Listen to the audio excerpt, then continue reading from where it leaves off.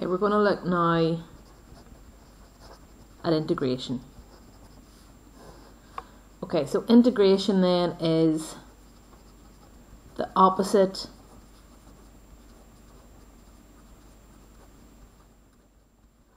of differentiation. Together, um, integration and differentiation are called calculus. So integration is the opposite of differentiation. So if you think about some of the questions that you've already looked at. So if we had y equals 4x cubed plus 6x squared, you differentiate to get dy by dx, and we get 12x squared plus 12x. So to go from here to here, that's your differentiation. We want to now find a way of going backwards. So if we have dy by dx, how do we find y? And that's called integration. Okay, so the first thing we have to worry about now is the notation. So in differentiation we had y and then dy by dx. So in notation we have this symbol here which means integrate. So if we're integrating 12x squared plus 12x, we integrate it with respect to x. So we put a dx here. Now that just means we're integrating x's. So we're integrating something that has x's in it, so we have dx here. If you're integrating something with q's in it. If we had 12q squared plus 12q, you would have a dq there because it's saying that we're differenti- we're integrating something with q's in it. Okay? So the rule then for integration is if we're integrating x to the power of n with respect to x, we add 1 to the index and we divide 1 and divide by the new index. So we add 1 to the index and we divide by the new index and then we have this plus c which is called the constant of integration which I'll explain in just a wee second. So it's add 1 to the index divide by the new index and plus c and that's called the constant of integration.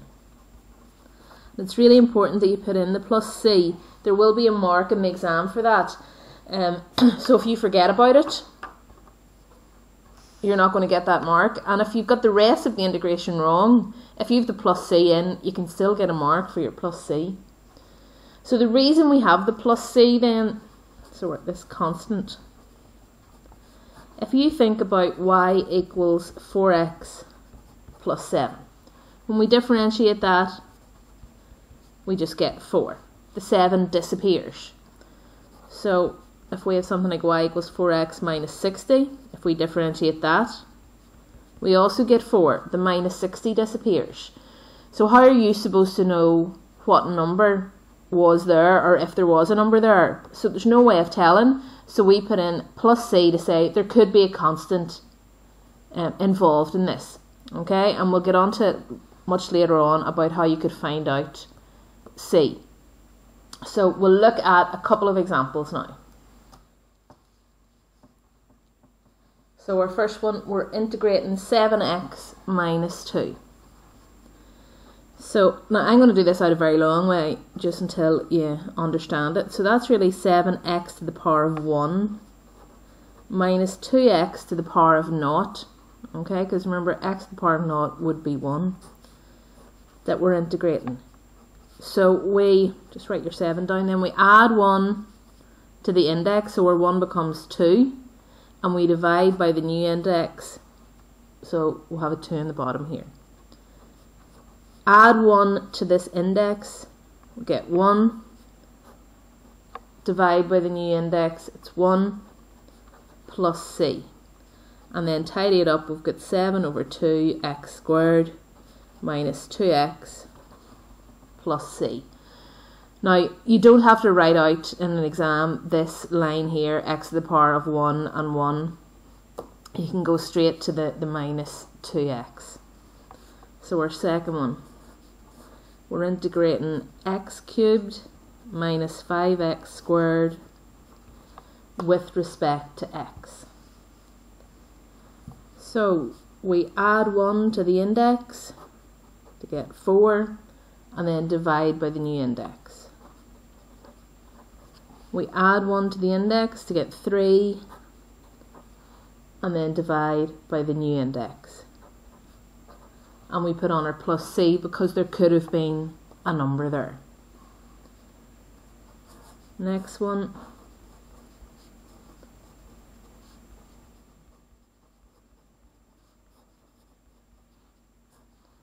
Six x minus six x squared minus two thirds x cubed with respect to x.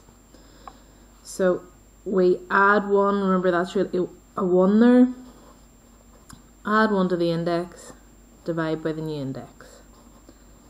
Add 1 to the index to get 3, divide by the new index. Add 1 to the index to get 4, and then we're going to divide by 4. Now that's very messy, but we'll tidy it up now in a wee second.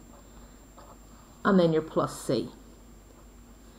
So we have 3 x squared minus 2x cubed. You wouldn't leave it as 6 over 2. You would have to write that as 3. 6 over 3, you can write that as 2. And then we have the 2 thirds divided by 4. And that's going to give us a sixth x to the power of 4 plus c. And then same as the differentiation, you can get slightly harder.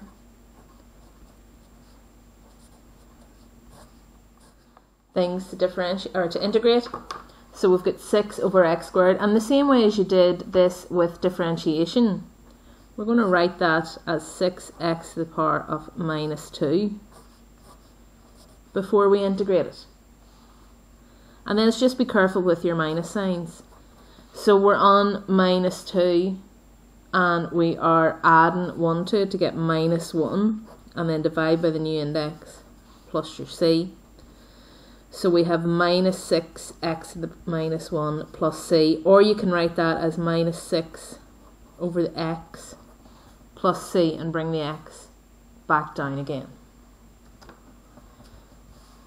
Okay, and our last one then 2 over 5x cubed plus 5x cubed, we're integrating that with respect to x. Again, tidy it up a bit. So the same way as you would have done with your differentiation, we're just bringing the x up. So it becomes 2 fifths x to the power minus 3 and this is still 5x cubed. Okay, so this will be a bit messy until we tidy it up. So it's x to the power minus 3. We're going to add 1 to that. So when we add 1 to minus 3, we get minus 2. And then we're dividing the whole thing by minus 2. The cubed one, then we're adding to that to get 4. And then dividing by 4. And we remember our plus c. Now to tidy that up, 2 fifths divided by minus 2 will give you minus 1 fifth.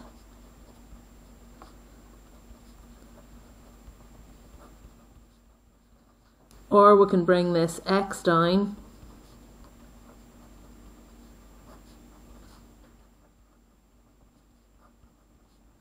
and write it as minus 1 over 5x squared plus 5x to the power of 4 over 4 plus c.